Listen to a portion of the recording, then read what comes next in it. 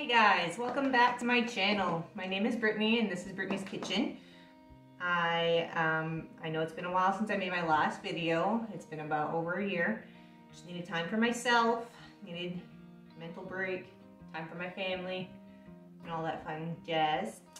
Um, today I am back with another recipe for you guys. I'm going to make um, homemade drop biscuits. They are so yummy. I like to spice it up a little with cheese and uh, butter drizzle on top. So we are gonna get started with that now. You're gonna need a food processor. I mean, you could do this all in a bowl by hand, no problem. You'll just need a couple different tools, but I'm gonna use a food processor today. Everything is pre-measured here, but I will tell you everything as I'm doing it, and I will link everything down below. So then you can, um, or list everything down below so you can follow along and do it yourself. So let's get started. You are going to need two cups of flour.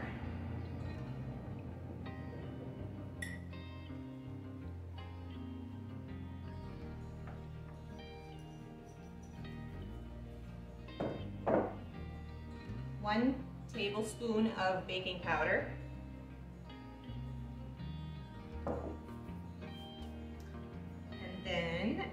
One tablespoon white sugar. And half a teaspoon of salt. And you are gonna process that. I'm gonna pulse it for a few minutes to get everything combined well together and then uh, we'll move on from there. Okay, and now you're gonna need a half a cup of butter from the fridge. So you're gonna take it cold right out of the fridge, cube it, and then you're gonna add it into this.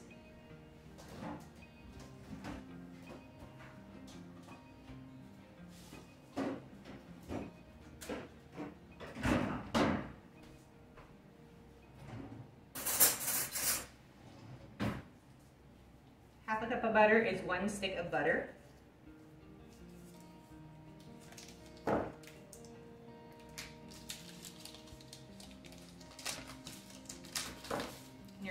Cube it and add it into your flour, dry ingredients. So you're gonna cube it.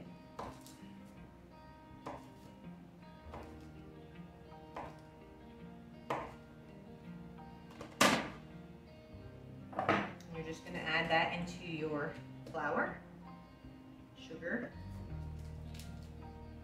salt mixture. Again, you're going to pulse that. And you're gonna pulse it until it forms like little crummy looking, almost like a, um, a pie crust.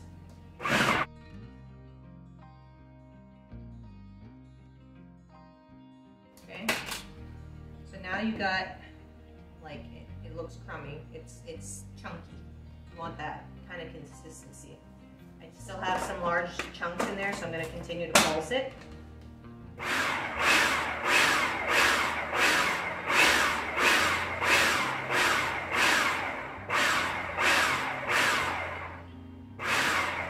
Okay.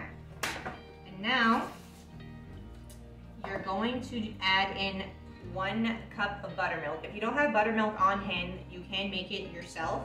You're gonna take a cup of milk add a few splashes of um, white vinegar. And what this is gonna do, it's gonna age the milk for you and create buttermilk. So that's what I did. I don't have buttermilk on hand, so I made it myself. You're gonna pour that in.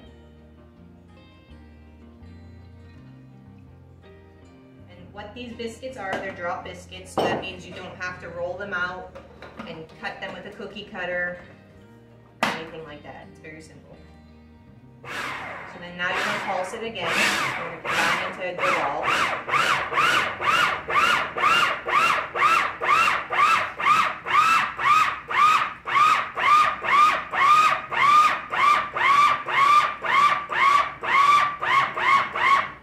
Okay, so now I got my dough ball.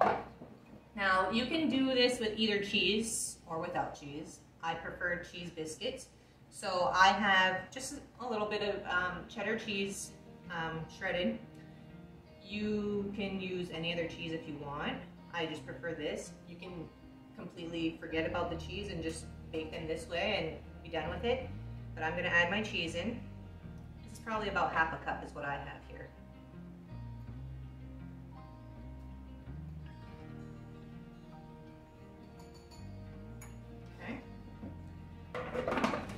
my cover back on and I'm gonna pulse it again for another couple minutes, maybe less, depending.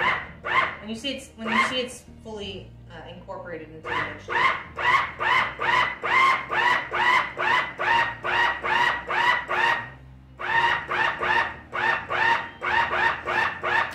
And I forgot to tell you what to set your oven at. It is 400 degree oven. Do that before you start uh, So if you're watching this and you're midway through, start your oven now so it's ready to go when you're done um, the recipe. Okay. So this is what the mixture looks like. It is very sticky and you're obviously not going to want to do it with your hands. Now I'm going to clear out my counter and get uh, everything else situated so I can get them ready to bake. Okay, now that my area is all cleaned up, you're going to take a baking sheet and line it with parchment paper so they don't stick to the pan. You're literally just going to take a spoon, take some on the spoon, you're going to drop it right on the pan.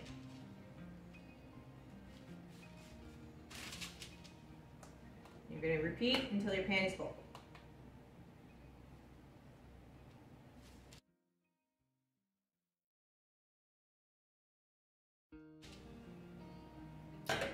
Okay, so I have 12 here on this pan. I will need another pan. I'm gonna go ahead and do this off camera. I'm gonna stick them in the oven for 20 minutes. Remember, 400 degrees, 20 minutes, or until golden brown. So depending on your oven, you may have to watch it because everybody's oven is different. Um, so either 20 minutes or until golden brown. It may be less, it may be more. Just keep an eye on them. And I will see you when they are done baking.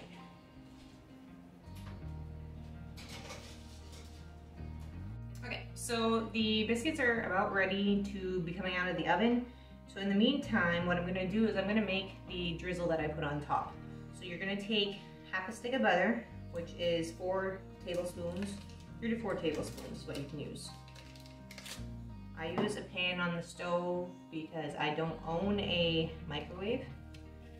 I haven't for many years. I prefer not to use a microwave, just my preference. So I'm gonna use half a stick of butter and I'm gonna take about, I'd say about a tablespoon of minced garlic and some Italian seasoning. I'm just gonna sprinkle that all into the pan. And then I'm gonna go and uh, melt the butter and stir this all together to make a drizzle for the top.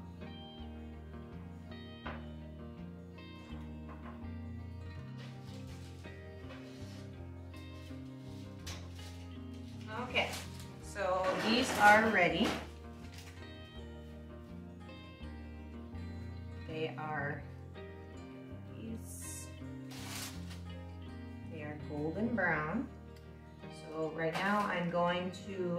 Let them cool a few minutes and then I'm going to remove them from the pan. And then once the butter and garlic um, mixture is done, I will drizzle it over that. Then we will try them.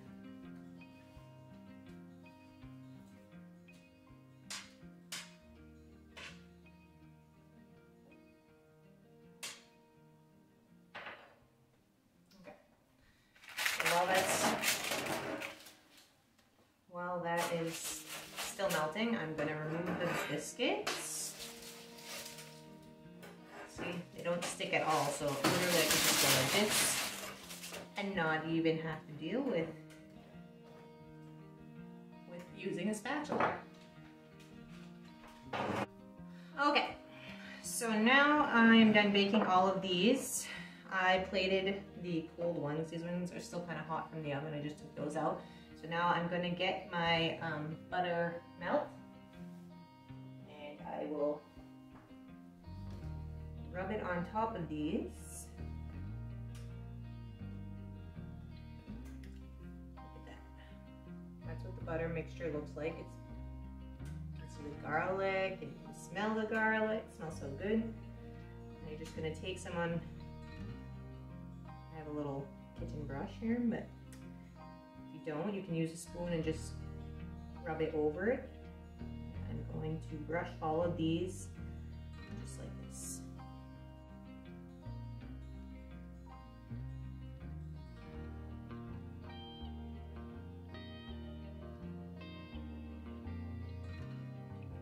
Try and get some of the chunks of um, garlic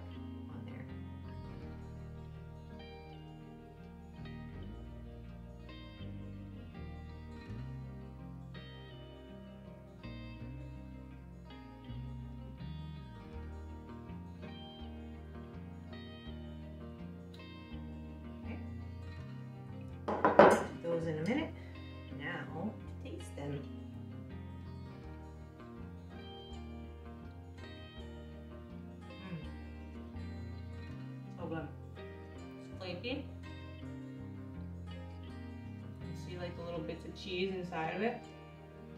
And the butter garlic on top really adds to the flavor. So if you want an easy biscuit recipe, you can eat this with a soup. You can eat this with any other meal choice if you want. Really easy to make. As you can see, it only took about five minutes to prep.